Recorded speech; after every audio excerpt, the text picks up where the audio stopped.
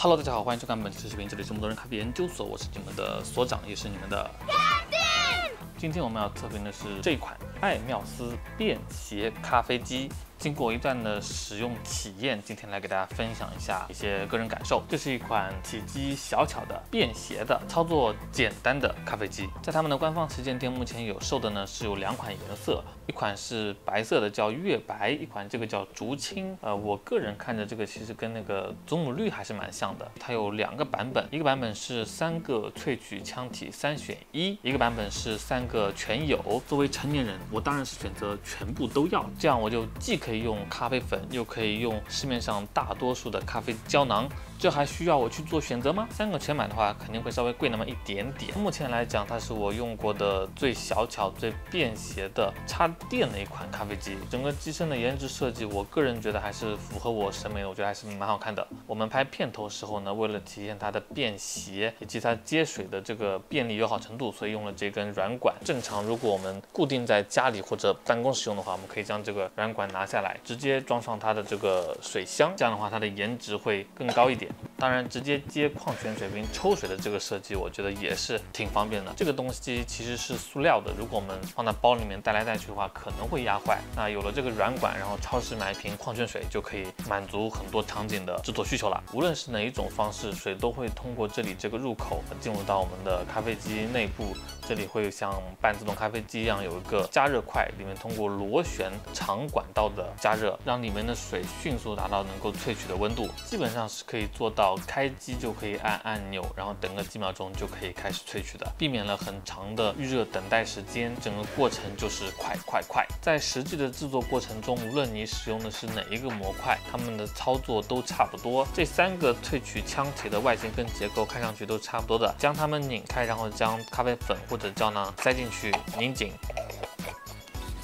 再给它按照正确的方向扣入到咖啡机，然后将这个小的手柄往下按。那机器就可以进入到亮灯开始工作的状态。这个时候我们只需要按一下按钮，它就可以开始萃取了。这里有三个按钮，代表不同的萃取毫升数，分别是四十五、九十和一百六。我们测试了它用咖啡粉去萃取的情况，用的是一支终身烘焙度的我们的曼巴意式拼配。在用到小型家用半自动咖啡机的研磨度的时候，我们用了十八克的咖啡粉；在用到商用咖啡机比较细的研磨度的时候，我们用了十七克的咖啡粉。这两种情况下，它都完成了考验。是可以萃取出含有 crema 的 espresso 的，在萃取过程中流速相对正常，也没有产生哪里缝隙会漏水的情况。因为实际上我们用商用机的研磨度的时候，里面积蓄的压力还是蛮高的。有些小的半自动机器用到这么细的粉的时候，粉量稍微大一点就会完全堵住，出不了水。但是它毕竟还是一台定位便携、小巧方便的小型设备，它出来的 espresso 当然不能跟我们商用机出来的 espresso 去比较。它制作出来的浓缩咖啡基础的风味整体的调性方向还是一致的，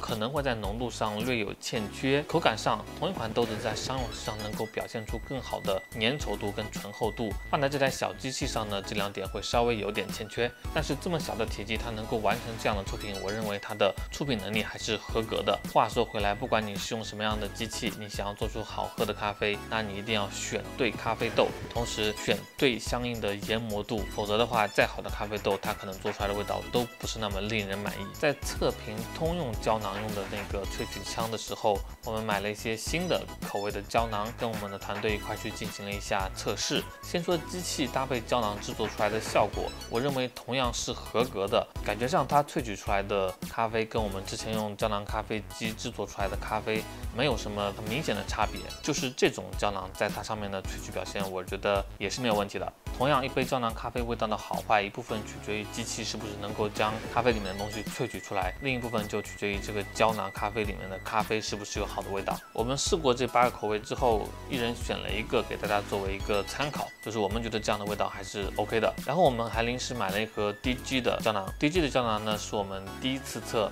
我们用的这一款呢是卡布奇诺的胶囊，它里面会分为一个咖啡的胶囊和一个奶泡的胶囊。先萃取奶泡，再萃取咖啡，就可以获得这么一杯分层的卡布奇诺。它味道还是有点甜的，应该是有加了甜味的东西。有添加的味道我就不评价了，因为对于甜味，有人喜欢，有人不喜欢，萝卜白菜各有所爱。DG 的这种胶囊呢，就会有很多的这种搭配奶泡的组合。如果你确实喜欢呃带牛奶带奶泡的。咖啡的话，又想用胶囊咖啡机做出来，那你可以选择这个系列的胶囊。关于这个系列的胶囊呢，我们还没有进行过完整的测评，所以只能说我们测的这一款表现好像还可以，其他的我们就不是很清楚了。理论上应该是没问题的。所以总的来说呢，这款机器还是给我留下了一个蛮好的印象，小巧方便，颜值在线，然后它的出品也还可以。对于这个价位的便携咖啡机来说，我觉得还是值得购买的，因为它真的很快，而且很好看。它既可以用那么多种类的胶囊，它也可以用咖啡粉。它的咖啡粉的萃取腔体，我试了一下，我们是可以用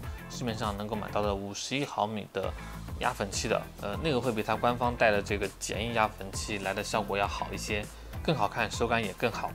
然后这台机器也有个美中不足的地方，就是它的上面这个小水箱和它下面这个可以接咖啡的杯子，它都是一个比较薄的塑料材质，虽然看着挺好看的。但是总感觉它是一个比较容易压碎的，如果能够升级一下，应该就会更好了。好了，以上就是本期测评的所有内容，希望对你了解这台设备有所帮助。我们是摩多人咖啡研究所，如果你觉得本期内容对你有那么一点点用的话，还请给我们点个赞或者给我们点个三连，就会对我们非常的重要。那我们下期再见。